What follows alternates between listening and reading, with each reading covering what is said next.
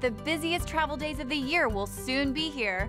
What better way to arrive at Grandma's house, or any house, than in a beautiful new vehicle from Franklin Chevrolet in Statesboro? The new models are a feast for the eyes and as comfortable as mashed potatoes and apple pie. And comfortable is the way you feel each and every time you visit our dealership. Come in and take advantage of special holiday savings at Franklin Chevy. You'll drive home satisfied. The Georgia Southern seniors taking the field for the last time as the Eagles host Troy in their season finale. Many questions swirling about the future of head coach Tyson Summers and his current staff prior to Saturday's game. Trouble early on as Eagles will fumble. It's recovered by Troy here in the first quarter. The defense able to hold Troy to a field goal, though. The kick is up and good, and they take a three to nothing lead. Later, fourth and short, and the Eagle defense steps up once again, denying here.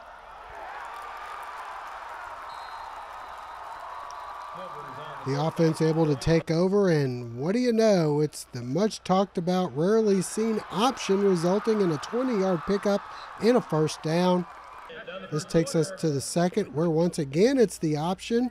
Matt Breida getting inside the five on this play. A few plays later, third down, senior Kevin Ellison lofts one up for fellow senior BJ Johnson, who hauls it in, and the Eagles take a 7 3 lead. Troy finally getting their offense on track. Jordan Chunn breaks free for a big pickup into Eagle territory, and then from the three, Chunn in for the touchdown, and the Trojans take a 10 to 7 lead, which they'd carry into half.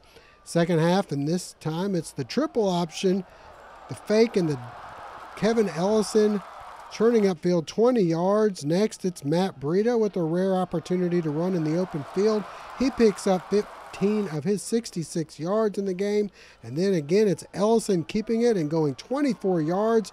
And after a review, this one ruled a touchdown. Ellison rushed for 115 yards in the game. The defense holding Troy in check for most of the third quarter. Ukeme Eligwe and Jay Ellison in on the hit. Back on offense once again. Kevin Ellison freezes the defense, faking the pitch, and he's off down the sidelines for a 54 yard touchdown. Some nice blocking along the way, and it's 21 to 10 Eagles. But Troy responding this time the first down pickup on third and long. Brandon Silvers with the pass. And then it's Silvers to a wide open Tavares McCormick for the 16 yard touchdown.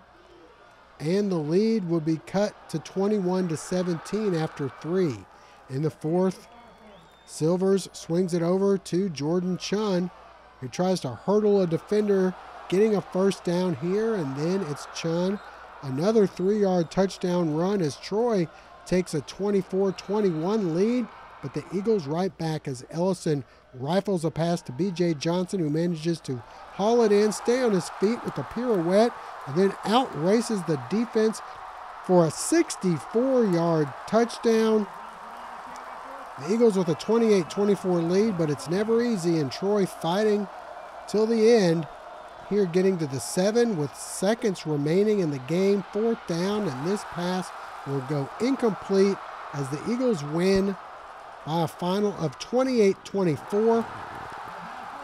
After the game, Georgia Southern Athletics Director Tom Kleinlein issued a statement saying he wanted to end any speculation surrounding the future of head coach Tyson Summers, telling student athletes, recruits, and fans that he will be the Georgia Southern head coach moving forward.